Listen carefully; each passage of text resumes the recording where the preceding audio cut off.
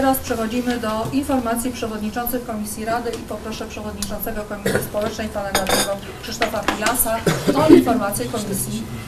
Komisja w miesiącu marcu spotykała się dwukrotnie.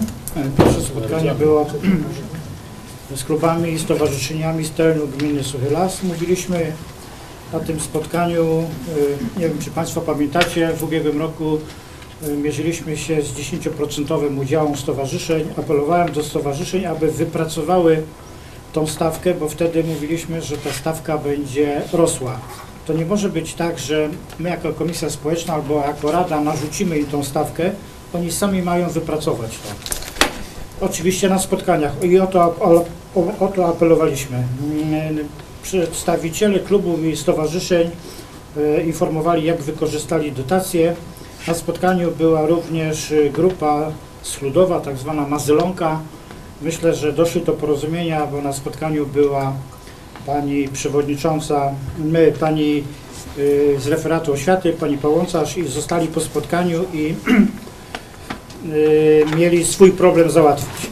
Y, Drugie spotkanie to spotkanie w OBS-ie. Spotkaliśmy się z zespołem w sprawie rewitalizacji gminy Suchy Las. Na tym spotkaniu opiniowaliśmy oprócz tego pozostałe uchwały i oświadczenia. Że to spotkanie było ważne, świadczy o tym, ile wnieśliśmy do y, projektu uchwały uwag. Dziękuję. Dziękuję bardzo. Poproszę o informację przewodniczącą Komisji Komunalnej Ochrony Środowiska panią dr Agnieszkę Tarkowską. Komisja spotkała się w marcu jeden raz, 24 marca. Y, Opiniowaliśmy dwie uchwały. Jedną w sprawie opłat za usunięcie drzew i krzewów.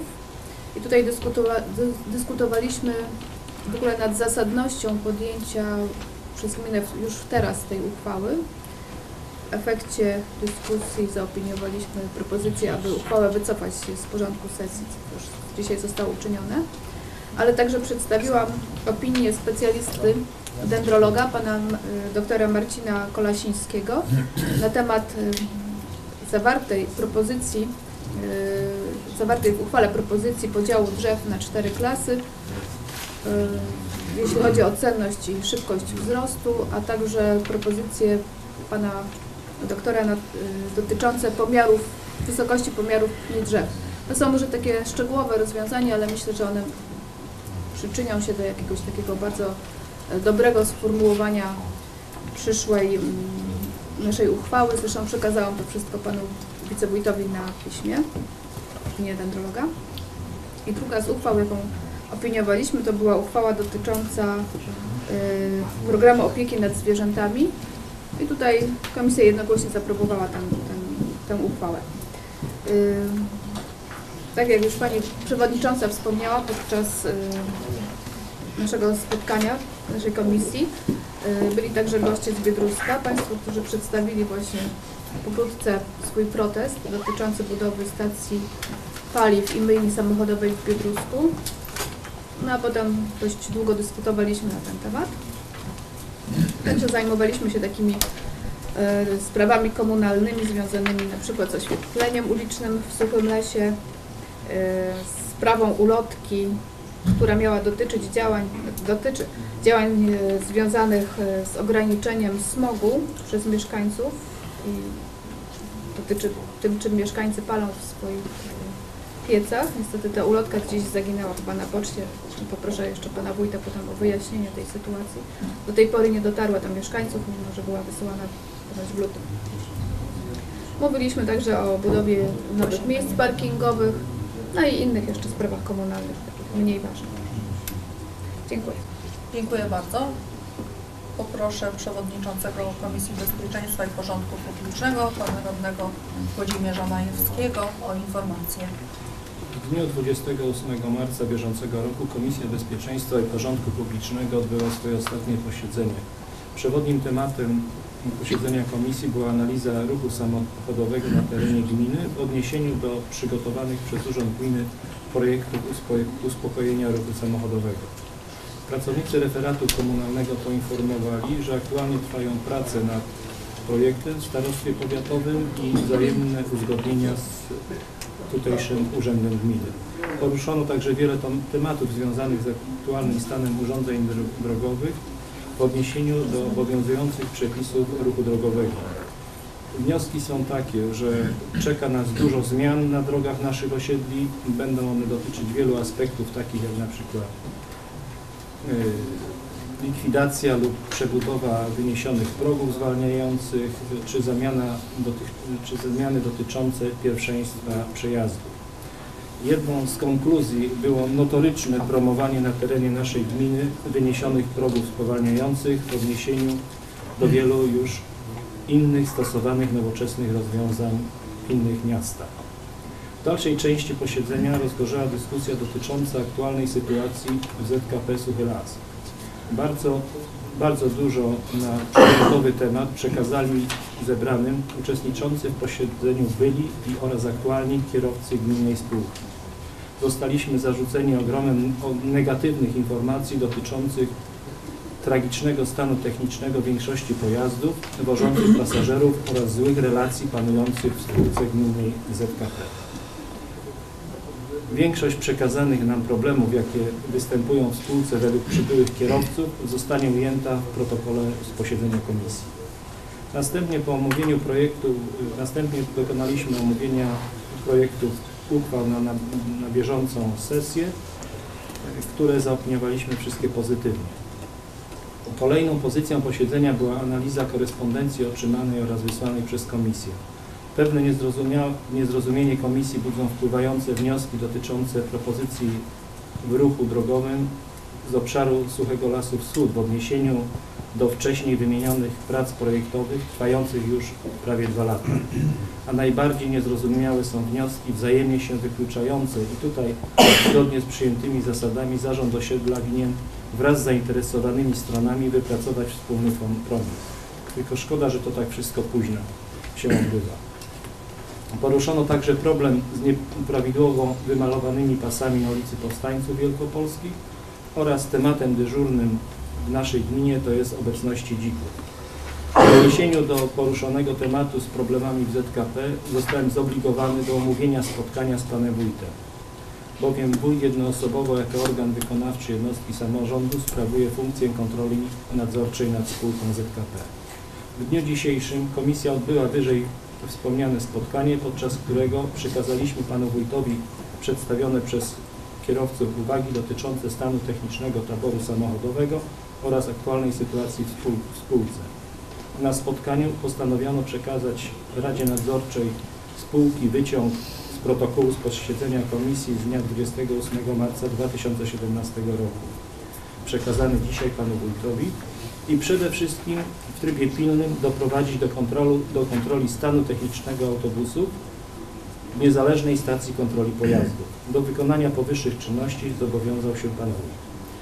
Wszystkie tematy, które wymagają dalszej analizy procedowania przez Komisję będą kontynuowane przez złożenie odpowiednich wniosków w celu ich pozytywnego rozwiązania. Kolejne posiedzenie Komisji zaplanowane jest na 25 kwietnia bieżącego roku, na które już dzisiaj serdecznie zapraszam. Dziękuję. Dziękuję bardzo. Poproszę przewodniczącego Komisji Finansowo-Budżetowej i Rozwoju Gospodarczego, pana radnego Dariusza Matysiaka o informację komisji. Komisja w miesiącu marcu spotykała się dwukrotnie. Pierwsze spotkanie odbyło się 20 marca. E, Na tym spotkaniu e, głównie komisja zajmowała się pismem odnośnie przedłużania się e, procedury uchwalenia miejscowych planów zagospodarowania przestrzennego. Na tejże komisji e, zostało zwrócone uwagę, iż e, w piśmie są e, błędne informacje, ponieważ jeden z punktów dotyczył projektu uchwały, który sam wójt wycofał z rady, posiedzenia Rady Gminy, gdzie no, Rada Gminy nie miała możliwości w ogóle odnieść się do projektu uchwały. E, Kolejny punkt dotyczył e, działki e, 311 bodajże przez 5, to co dzisiaj e, zostały przegłosowane. E, Co do kolejnych dwóch punktów e, zostały złożone wnioski o, e, w przypadku pierwszym e, o, chodziło tutaj o plan e, w rejonie hotelu Ibis. E, Tutaj został złożony wniosek o mm, przygotowanie uchwały, e, która by wygaszała uchwałę wszczynającą e, zmianę miejscowego planu zagospodarowania przestrzennego. E, Drugi punkt dotyczył planu w rejonie mm, Złotnik, to jest rejon bloków. Złotnik, Złotkowa i Biedruska w sumie też się dotyczy. Bo tam jest również boiska e, w Złotkowie i dalszego e, terenu, który przylega do Biedruska. Tutaj e, został złożony wniosek o zmianę granic opracowania planu. Na drugim posiedzeniu, które odbyło się 27 marca, głównie komisja zajmowała się opiniowaniem projektów uchwał na dzisiejszą sesję. E, Jakie decyzje zostały podjęte? Zostało to również dzisiaj wyrażone przez wycofanie dwóch e, projektów uchwał w celu e, dalszych konsultacji, również i społecznych, e, no, przeanalizowania jeszcze, bo to są to bardzo poważne sprawy, także komisja zdecydowała jednak, aby jeszcze podyskutować na te tematy. E, Kolejne posiedzenia odbędą się w miesiącu kwietniu. Jedno odbędzie się 10 kwietnia. E, Tutaj chcemy e, spotkać się głównie w celu omówienia planów, które są wyłożone do publicznego wglądu.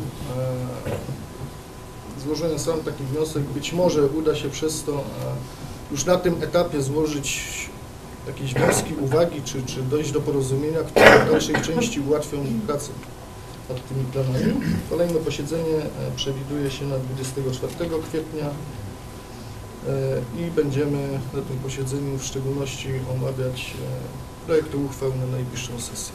Dziękuję. Dziękuję bardzo. Poproszę przewodniczącego Komisji Rewizyjnej, pana radnego Grzegorza Łukszo o informację komisji.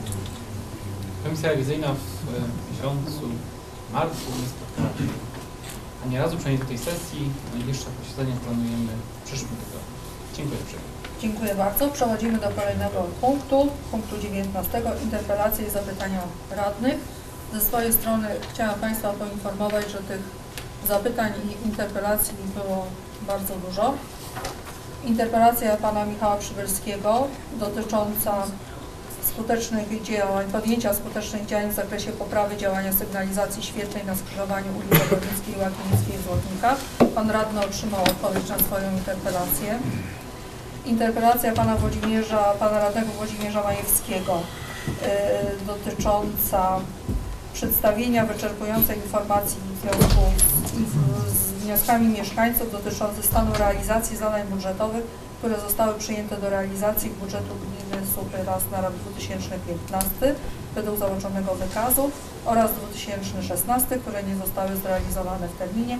Pan radny też otrzymał od- odpowiedź. Połowę odpowiedzi. Aha, połowa odpowiedzi, dobrze.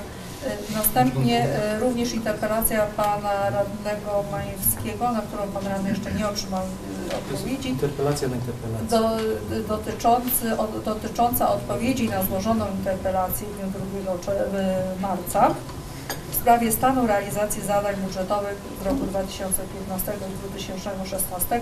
Tu pan radny prosi o uzupełnienie. Następnie interpelacje kilka interpelacji pana radnego Grzegorza Łukszo, gdzie pyta o kwestię parkingu zlokalizowanego w Biedrusku na działce numer 164. Pan radny otrzymał odpowiedź, tak, pan radny otrzymał od, odpowiedź na tę interpelację. Następna interpelacja pana radnego y, dotycząca zebrania osiedlowego, gdzie mieszkańcy osiedla Kamieni Szlachetnych uskarżali się, że wskutek wyrównania drogi obecnie ich posesję zalewa woda. Również i na tę interpelację pan radny otrzymał odpowiedź i interpelacji, którą pan radny złożył 14 marca dotyczy y, pytań nowych mieszkańców Biedruska o kwestię wycieku fekaliów w okolicach osiedla jesionowego w Biedrusku. I tutaj pan radny również otrzymał odpowiedź. Y, Pan radny Krzysztof Pilas złożył interpelację i prosił o odczytanie treści interpelacji, co niniejszym czy nie interpelacja złożona 29 marca. W trybie określonym zapisami rozdziału 4 paragraf 14 punkt 1 i 5 regulaminu Rady Gminy Suchy Las, będącego załącznikiem nr 5 do statutu Gminy Suchy Las, składam interpelację z wnioskiem o nadanie im biegu w związku z wieloma pytaniami od rodziców, których dzieci uczęszczają do szkoły podstawowej w Suchym Lesie przy ulicy Szkolnej. Chciałbym uzyskać informację o liczebności uczniów każdej klasy 1-6 oraz ilu uczniów w każdej klasie jest spoza rejonu. Czy ulokowanie w szkole podstawowej na ulicy Szkolnej, czy ulokowanie w szkole podstawowej na ulicy Szkolnej liceum nie spowoduje zamieszania w samym budynku, jak będą chronieni najmłodsi uczniowie, ponadto czy nie spowoduje takie rozwiązanie dwuzmianowości.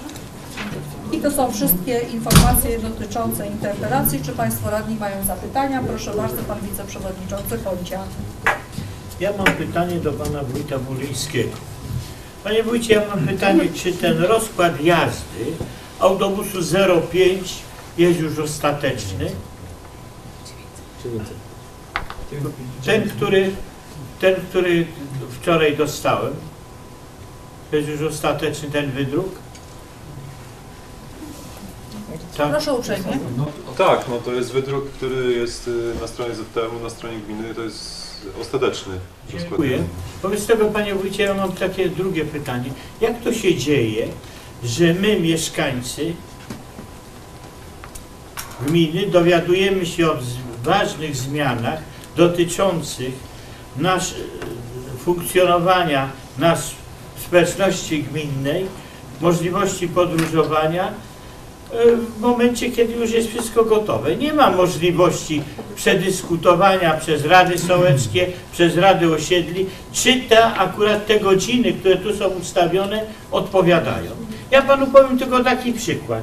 Panie wójcie, e, autobus wyjeżdżający spod zamku jest o 14.34, a następny jest o 16.14. To jakby nie było prawie dwie godziny różnicy, a są to godziny szczytu. I teraz ktoś mi powie, no tak, ale macie 0,7 i to możecie na tam 0,7 lecieć. Fajnie. Tylko nie wiem, czy pan próbował na moście teatralnym wsiąść do tramwaju, którym by pan pojechał na Szymanowskiego, żeby wsiąść do autobusu 07 w tych godzinach szczytu. Tam jest wtedy taki tłok, że tam się do tramwaju nie można wcisnąć. A jednocześnie, panie wójcie, nie wiem, czy pan w ogóle tym autobusem kiedy naszym 05 jechał, bo my jeździmy tutaj, niektórzy z nas, no pan Tasarz jeździ między innymi, i ten autobus jest ciągle pełny. Pan powiedział, no co on ma tam wypełnienia, 30%, jak miał 100%, to moglibyśmy podyskutować na ten temat. Ale trzeba powiedzieć, że komunikacja 100% to nigdy nie ma, bo ty, autobus wyczarterowany na wycieczkę czy na coś, to on ma tam odpowiednie 100% i wiadomo, że przynosi określone zyski. A w tej chwili ten autobus jest pełny. Ja wczoraj jechałem tym autobusem, już w Suchym Lesie praktycznie palca nie było można. Dzisiaj przyjechałem tym autobusem do Suchego Lasu, autobus pełny, a jeszcze ludzie wsiedli. I tak jadą do Poznania. Z Poznania jest pod, podobnie. Ja, ja nie wiem, dlaczego po prostu ten autobus jest tak niewygodny. No, bo on kosztuje. Bo zgodnie z tym, co Pan napisał w artykule, który się w Gazecie Sucholeckiej ukaże, to on będzie koszt, kosztuje gminę 2 miliony 100 tysięcy złotych. Nie wiem, czy akurat to jest, czy jest policzone też tym, ile on ludzi przewozi. Dla mnie brak konsultacji z mieszkańcami Chludowa, Zielątkowa, Golęczewa, Złotkowa, Złotnik, Suchego Lasu, którzy jeżdżą, czy ten autobus jest potrzebny, jest uważam wielkim zaniechaniem. Bo z drugiej strony, jeżeli coś jest potrzebne, jeżeli ludzie tym jeżdżą, to dlaczego to likwidować? Bo nie da się wszystkiego na pieniądze przeliczyć. Ja uważam, że do czasu, kiedy nie będzie wprowadzona kolej metropolitalna, to ten autobus należy zostawić. Z drugiej strony, jak się spojrzy na trasę ten, tego autobusu, to na przykład jadąc do szpitala na Lutycką jest tylko możliwość dojechania praktycznie tym autobusem. Jadąc do o- osiedla y, tutaj Bolesława Chrobrego, do Dąbrówki, do tego ośrodka zdrowia, też tylko tym autobusem można dojechać. No słuchajcie, Państwo, tak samo jeżeli chcemy dojechać do Posumu na Serbską, no to fajnie, jeżeli siódemką ktoś pojedzie na Pestkę, to z Pestki powinien do, pojechać gdzieś do Śródmieścia i następnie wsiąść do tramwaju, który idzie na Wilczak, żeby, żeby do Posumu dojechać. A jeżeli, a jeżeli jedziemy autobusem, naszą piątką na przykład, to wysiadamy przy tym nowym wieżowcu tutaj na skrzyżowaniu Alei, to jeszcze nie jest Aleja Solidarności, ale tutaj w pobliżu, naprzeciwko makro i następnie autobusem możemy dojechać pod, do, sam, do Posumu. No zrozummy, że autobusy mają ludziom służyć, a nie my. Druga sprawa. Mówi się o tym, żeby ograniczyć ruch w Poznaniu. No przecież kwestia jest taka, że ludzie autobusami jadą między innymi dlatego, żeby nie jechać samochodem, żeby nie szukać parkingu. Młodzież szkolna, która jeździ, proszę pojeździć tymi autobusami. No fajny termin jest wprowadzenia tego, 24 czerwca. Fajnie, bo będą wakacje, to będzie luźno, to, to, to nie będzie takiego problemu z tłokiem i tak dalej. Ale jeżeli przyjdzie wrzesień i rozpocznie się e, szkoła, skończą się u, ten termin urlopu, to te autobusy w godzinach szczytu będą pękać w szwach. Dzisiaj jechałem z kierowcą, który mi powiedział, że już nie zabrał część młodzieży w Suchym Lesie, bo po prostu akurat ze szkoły wychodzili, już niestety nie mógł ich zabrać, bo się w autobus nie mieści. Dziękuję bardzo. Dziękuję e, bardzo. Pozwolę sobie tylko jeszcze e, dodać do, do wypowiedzi pana e, wiceprzewodniczącego, ponieważ już taką dyskusję czy podobne zdanie wygłaszał pan wiceprzewodniczący na poprzedniej sesji, dokładnie mówił e, o tym samym. Zadzwoniła do mnie jedna z mieszkanek z następującą propozycją dla panów wójtów żeby każdy z panów wójtów wziął po dwoje dzieci i do tego dwie torby podróżne i spróbował się przesiąść na Sobieskiego z autobusu do tramwaju i dotrzeć na dworzec. To taką y, propozycję proszono mi, żeby y, panom przekazać, jak to funkcjonuje w praktyce w przypadku, kiedy w danych godzinach nie można skorzystać z bezpośredniego autobusu. I jeszcze jedna kwestia. Chcę Państwu zwrócić uprzejmie uwagę, że niestety jesteśmy gminą podmiejską, gdzie nie ma raczej, y, chyba że się mylę, postoju z taksówkami. Dojazd czy poproszenie o taksówkę z miasta, która przyjedzie i zawiezie bezpośrednio, na przykład na, na dworzec, jest rzeczą bardzo kosztowną. Dla większości naszych mieszkańców y, korzystających z autobusów komunikacji miejskiej czy naszej komunikacji gminnej, jest to właściwie jedyna możliwość dotarcia do celu. Prosił o głos pan Krzysztof Piras, proszę. Ja w duchu oświatowym chciałem zapytać wójta. Jutro ZMP organizuje strajk w szkołach nauczycieli. Jak będzie zorganizowany czas dla dzieci? U nas nie ma strajku. Nie ma. Nie ma? Nie ma. Pierwsze słyszę. To dobrze. Dziękuję. Pan radny Michał Przybylski, proszę uprzejmie. Ja chciałbym jeszcze nawiązać do tego, o czym mówił Pan Przewodniczący Honcia. Otóż, no, proszę Państwa, zostałem zobligowany również przez mieszkańców Złotnik do y, wypowiedzi w tej kwestii.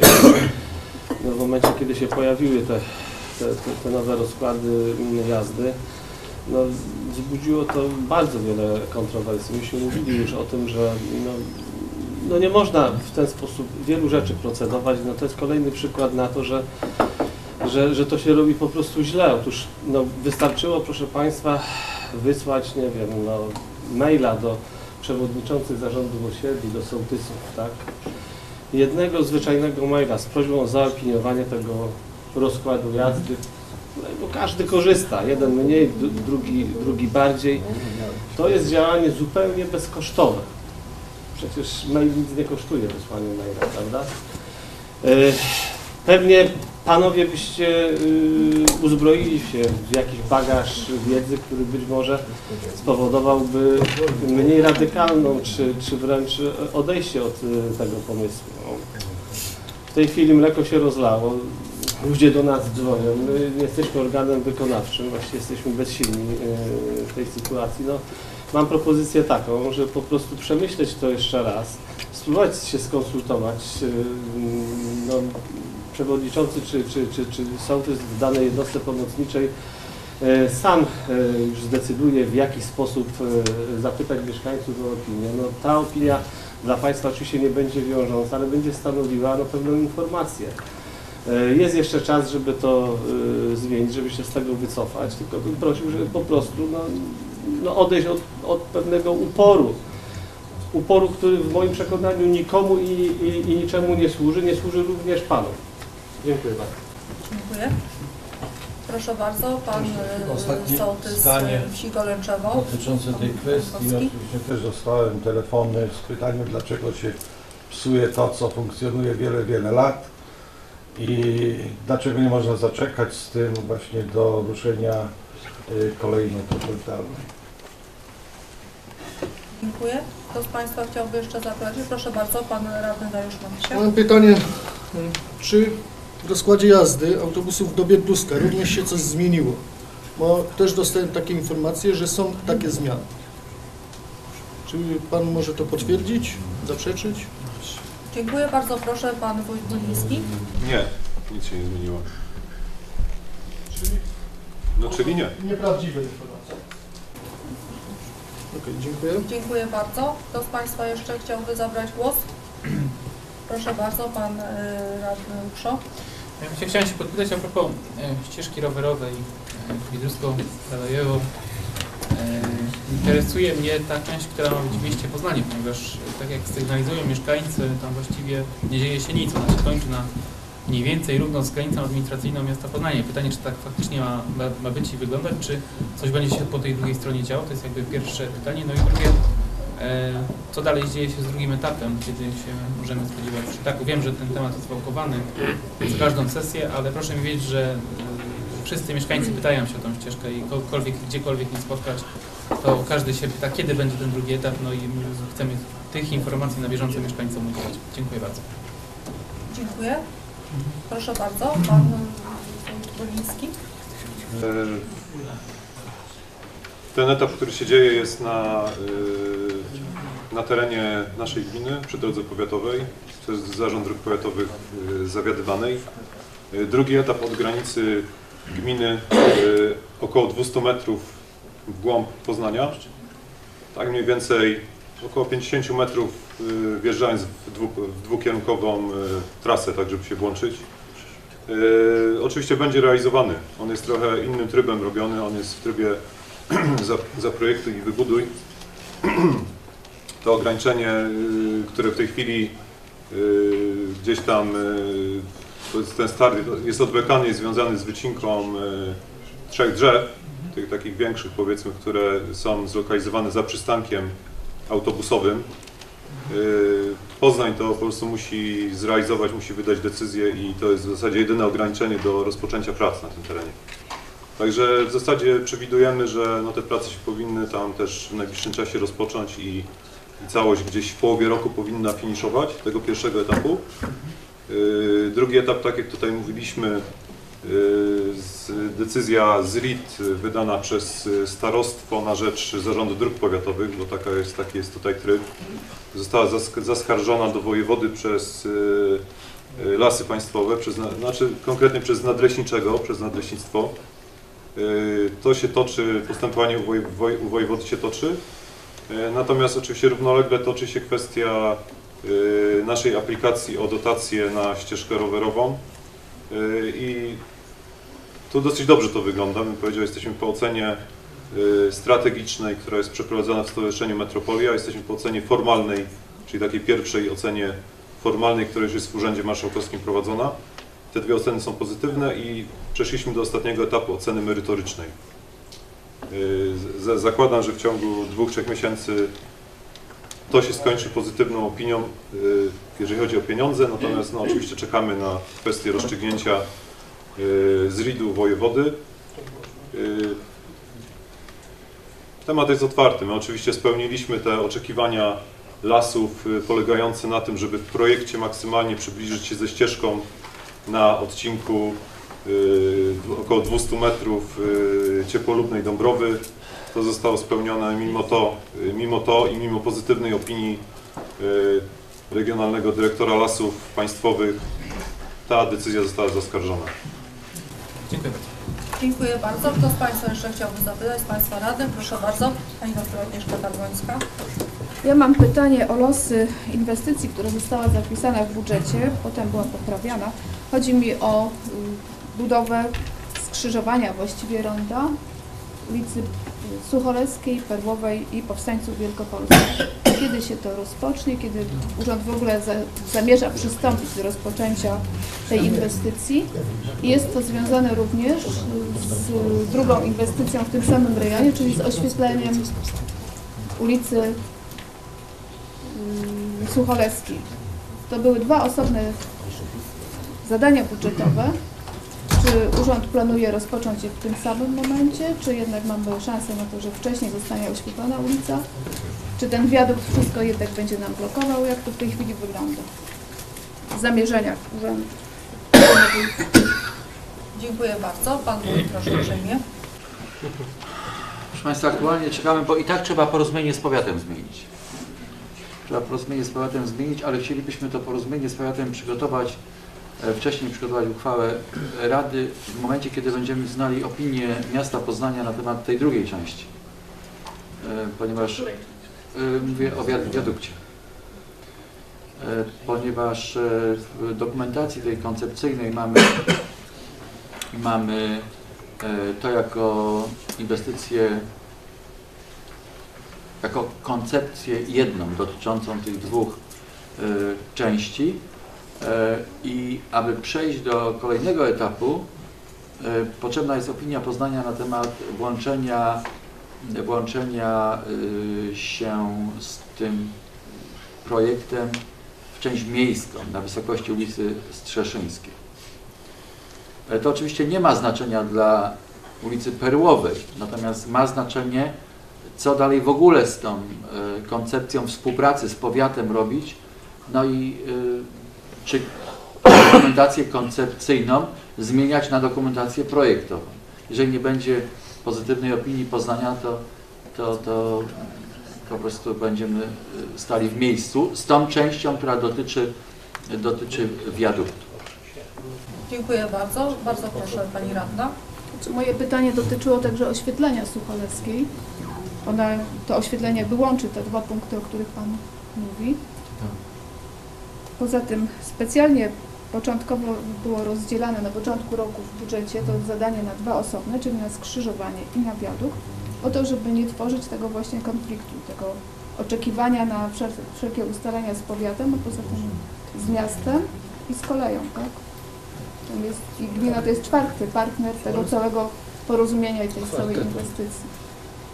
Także tutaj jakby łączenie tych opinii powiatu, a zwłaszcza miasta z budową, przebudową skrzyżowania z Perłową, no w ogóle jest dla mnie trochę bezsensowne. Jest absolutnie, absolutnie To, że była- sensowne. To Państwo. To, że była wspólna koncepcja, Tak. to jest inna sprawa. Tak. Ale można to rozdzielić na dwa osobne projekty techniczne. tak, ale rozdzielone nie jest. Nie, ale stało się to tylko dlatego, że na poprzedniej sesji to zostało połączone. No właśnie. No właśnie, no i po co? Jaki był tutaj Dlatego- Pana zamysł, bo ja tego nadal nie rozumiem. Zamysł był prosto Blokujemy oczywisty i e, omawiany wielokrotnie, że w ramach koncepcji, autor koncepcji, biuro projektowe, przygotowując e, wszystkie parametry wiaduktu, e, będzie mógł odpowiedzieć, czy skrzyżowanie Sucholeska-Perłowa może być rondem, czy zwykłym skrzyżowaniem. I od długości najazdów, od pochylenia, od y, zgody kolei, czy dwa przęsła, czy trzy przęsła, będzie zależało, czy wejdziemy w ulicę Perłową, czy dotkniemy ulicy Perłowej najazdem, czy, czy też nie. to był e, cel wykonania jednej koncepcji, jednej analizy dla całego odcinka od Perłowej aż do Strzeszyńskiej, bo tak naprawdę analiz analizie został poddany cały e, fragment mm, e, ulicy Powiatowej i Miejskiej od Perłowej w lesie do Strzeszyńskiej w, po, w Poznaniu. I dzisiaj to funkcjonuje jako monolit. Dziękuję. Proszę bardzo Pani Radna.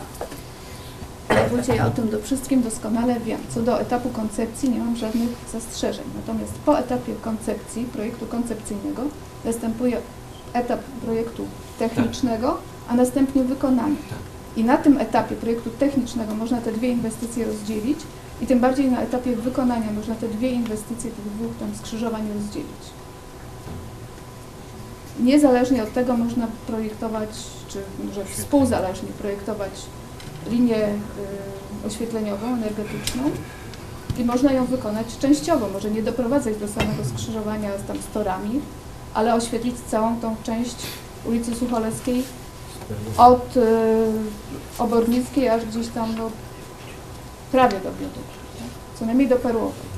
Tutaj nie widzę potrzeby łączenia tego nadal z budową wiaduktu, znaczy ja- która jest zagrożona. Proszę Państwa, ja nie chciałbym się spieszyć z tym oddzielaniem ulicy Perłowej od całości inwestycji, ponieważ e, na każdym etapie koncepcyjnym, projektowym, wykonawczym my jesteśmy jako partner powiatu. Powiat jest zarządcą drogi, powiat chce być inwestorem.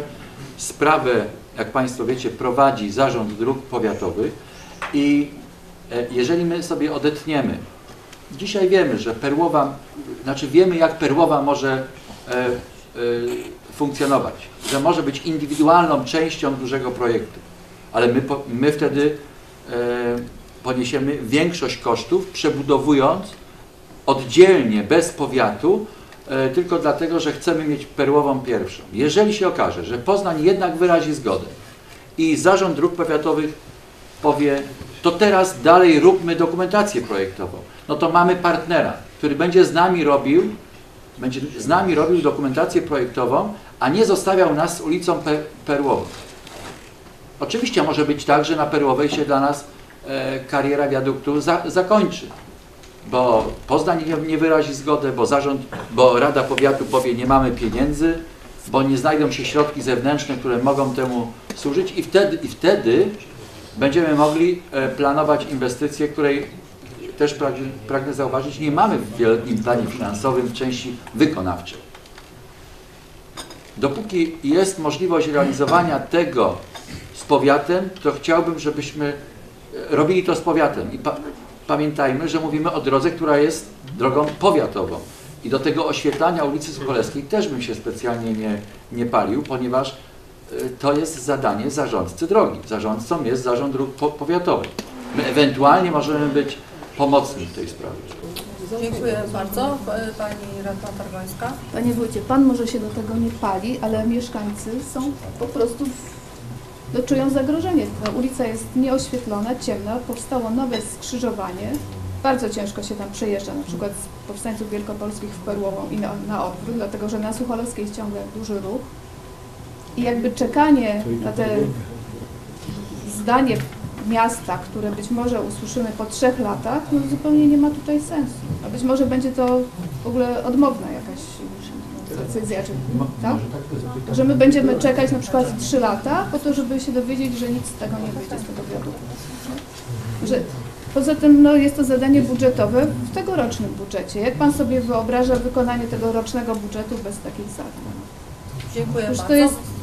Proszę Państwa, obiecuję, że na następnej sesji przedstawię Państwu informację. Y, Pan wicestarosta Ubiński jest umówiony, umówiony z Panem Budarskim w tej sprawie na spotkanie. Nie pamiętam w tej chwili dokładnie kiedy, ale tą informację przywożąc koncepcję, bo mamy dwa, dwa egzemplarze przekazane y, koncepcji przez Zarząd Dróg Powiatowych, taką informację przekazał Pan Dyrektor z, Zarządu Dróg Po- Powiatowych. Myślę, że lada dzień będzie to spotkanie, będziemy mieli po prostu informacje od pana, e, od pana wicestarosty Ubińskiego.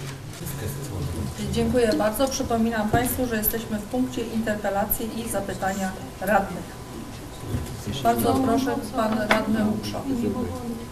Proszę bardzo, Pan Radny. Ej, Panie Wójcie, mam pytanie. E, Podczas spotkania w Bidrusku, dalej chyba jak miesiąc temu, e, para mieszkańców zwróciła się do Pana Wójta z prośbą o rozważenie zmiany lokalizacji parkingu przy e, planowanym przedszkolu. E, Podczas tego spotkania obiecał Pan, że przedyskutuje temat z projektantem. Chciałem się podpytać, jaki jest efekt tego spotkania, czy on się w ogóle odbyło i co w tym temacie da się zrobić. Dziękuję bardzo. Bardzo proszę Panie.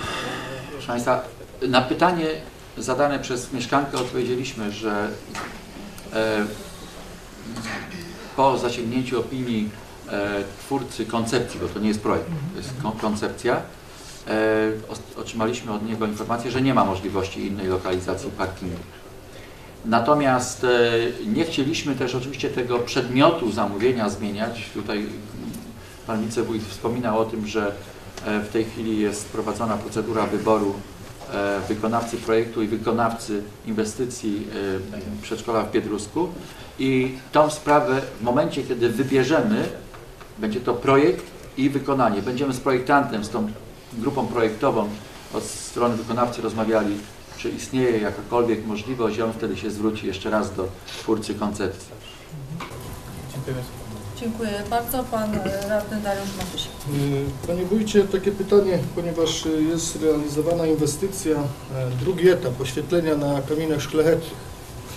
E, Jak Pan sobie y, przypomina, być może e, kiedy został zrobiony projekt, miał to być zrobiony projekt dla całego osiedla. Zostało to podzielone na dwa etapy. E, Dostaliśmy zapewnienia, że w drugim etapie będzie całe osiedle e, oświetlone. E, No, na dzień dzisiejszy e, widzimy, że już e, są e, fundamenty pod lampy, już są lampy poustawiane, jednakże no, nie dla całości, e, bo ulica Topazowa e, jest tylko w części zrealizowana, a de facto jest to główny ciąg komunikacyjny, e, czy to przy działkach, czy to nie wiem, dojście do tego osiedla od ulicy Chmielowskiej czy od ulicy Zjednoczenia. E, Dalej e, również była mowa, że w tym e, projekcie również znajdzie się ulica Kamienna i Piaskowa. Jak wiemy na dzień dzisiejszy przy ulicy Piaskowej jest chyba 99% budynków realizowanych, także no śmiem twierdzić, iż do końca roku te budynki będą zrealizowane, a będzie tam ciemno, nie ma kompletnie żadnych lamp. Czy to zostanie zrealizowane, czy na jakim etapie jest? Jak to kiedyś? Dziękuję.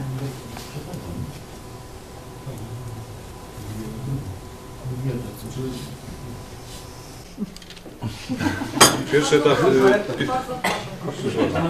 Proszę bardzo. To, to, to, to, No pierwszy etap, tak jak pan, pan zauważył, się, się toczy. Drugi etap przygotowujemy, żeby, żeby te prace... Drugi etap się toczy. Pierwszy już jest zrealizowany w zeszłym roku, teraz drugi etap. Tak, no już tak, tak, tak patrząc, będzie? tak. Ja mówię o tym realizowanym, że, że, że y, chcemy rozpocząć ten kolejny etap y, projektowania dróg w tamtym rejonie i to ma za chwilę wystartować. Jako Nie, nie będziemy czekać z zakończeniem całego projektu, tego, który się toczy w tej chwili, bo on jeszcze potrwa parę miesięcy, ale będą się te prace toczyć równolegle, tak jak sobie zakładaliśmy. Dziękuję. Dziękuję uprzejmie. Proszę bardzo, Pan Radny. Y, Jeszcze jedno pytanie odnośnie y, przedszkola w Biedrusku i szkoły. Y, Na dzień dzisiejszy y, są informacje, że do przedszkola może być zgłoszonych w granicach 50, 60 do 70 dzieci. E, Wiemy, że e, grupa wychodząca e, będzie to w granicach 20-25 dzieci. E, Czy jest jakieś rozwiązanie, które umożliwi przyjęcie wszystkich dzieci, tych 50, 60, no jeszcze etap się nie, nie zakończył, bo bodajże jutro się dopiero kończy. No ale już rodzice mają sygnały, że no, pewnie nie będą przyjęte, pewnie z jakichś względów coś tam i, i no bardzo dużo jest pytań. E, Drugie moje pytanie odnośnie szkoły, ponieważ e, żaden budynek, to znaczy z tych e, wielomieszkaniowych, że się tak wyrażę, gdzie ma być oddany jeden budynek w granicach 80 mieszkań czy 90, kolejny już widzimy billboard, już jest działka wyczyszczona, Podejrzewam, że lada chwila p- prace tam się zaczną, gdzie będzie to spływ praktycznie lawinowy w jednym roku dzieci. Czy e, coś się dzieje w sprawie budowy szkoły biedluskiej? Już od paru miesięcy dopytuję się, pytam się. Na razie nie, na razie cisza i, i Chcę się dowiedzieć kiedy, kiedy to będzie wdrożone, żeby nie było sytuacji tak jak z przedszkolem, że nagle trzeba e, budować, a no, nie do końca jest plan, między innymi miejscowy zagospodarowania przestrzennego, który no, w pewnym stopniu ogranicza i wymusza pewne odstępstwa. Proszę Państwa, jeżeli chodzi o rekrutację do nabór do przedszkola, to fak, faktycznie on jeszcze, jeszcze trwa. W poniedziałek jestem umówiony na spotkanie e, z, i z panią dyrektor, znaczy z panią dyrektor Matysiak i z panią kierownik Szóstak. E, nie musimy wszystkich dzieci e, przyjmować z tych, które są zapisywane. Na przykład jeżeli będziemy mieli taką sytuację, że trzeba będzie podjąć decyzję o nieprzyjmowaniu dwójpółlatków, no to mamy prawo nie przyjąć. Naszym obowiązkiem jest przyjęcie pełnych trzylatków. Na pewno nie będziemy, tam jest kilkoro dzieci, chyba troje albo czworo e, spoza Biedruska, też możemy podjąć decyzję o odmowie. E, Ale ja nie chciałbym wyprzedzać faktów. Ten nabór trwa, ja będę rozmawiał z panią dyrektor i, i będziemy na pewno tę sprawę omawiali również, dlatego poprosiłem, poprosiłem o, o spotkanie nie tylko z panią dyrektor, ale z panią kierownik. Dziękuję bardzo. A jeżeli chodzi o szkołę, no w tej chwili, w tej chwili nie, ma, nie ma planów, nie ma e, projektu, mm, e, nie ma założeń do wieloletniego, wieloletniego planu finansowego. Przyjęliśmy tą informację. E, sytuacja jest kontrolowana, monitorowana. E, zagrożeń, zagrożeń na dzień dzisiejszy, myślę, że na następny rok i następny też nie ma, jeżeli chodzi o mm, e, przestrzeń edukacyjną w Bie- w Biedrusku. Natomiast e, tak jak ostatnio rozmawialiśmy, możemy rozpocząć dyskusję na temat e, ujęcia w wieloletnim programie finansowym przy ulicy Poznańskiej budynków szkoły. Dziękuję uprzejmie. Kto jeszcze chciał, z Państwa radnych chciałby y, zabrać głos? Y, Proszę uprzejmie Pani y, Radna Karwańska. zapytać. O to chciałam zapytać, czy był już przetarg na budowę miejsc postojowych w okolicach Pepsi? Rozmawialiśmy o tym tydzień temu, przetargu wtedy nie było. Czy coś się zmieniło? Proszę Państwa, w tej chwili jest... e, tak, bo to jest w trybie zaprojektuj, wy, zaprojektuj, wybuduj. Dokumentacja jest e, przygotowana, ona została e, prawdopodobnie już przekazana do Biura Zamówień Publicznych z referatu inwestycji.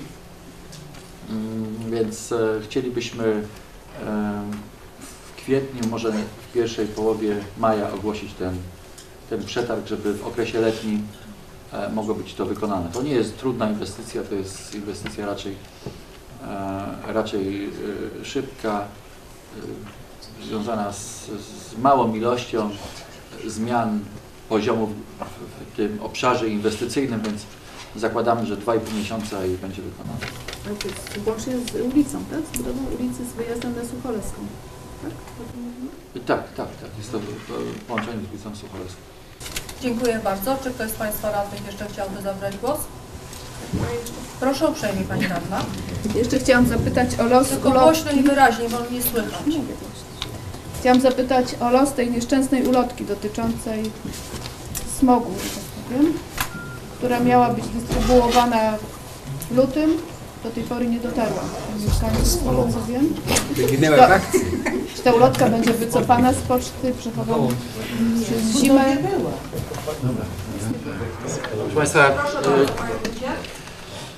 Proszę Państwa, nieprawdą jest, że ulotka nie jest dystrybuowana. Ona jest w różnych punktach, jest dostępna, e, była wkładką.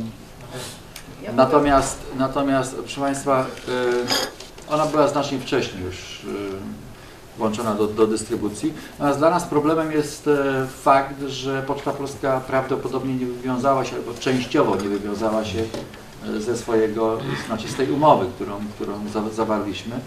I to jest kwestia, którą na pewno będziemy się e, zajmowali i przejmowali. Nat- Natomiast, natomiast ulotka jest dostępna. Ulotka, tak jak wspomniałem, jest była i jest. Była i jest do, dostępna i jeżeli takie zgłoszenia były ze strony mieszkańców, że nie dotarła do skrzynek, no to tak jak wspomniałem, będziemy mieli e, roszczenie do poczty, która z umowy o dostarczenie druków bezadresowych się po prostu nie, nie wywiązała.